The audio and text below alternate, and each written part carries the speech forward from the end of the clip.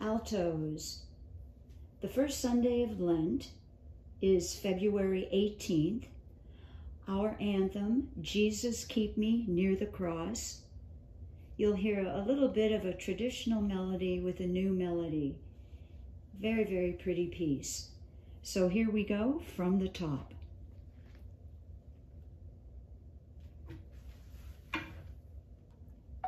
Sing along.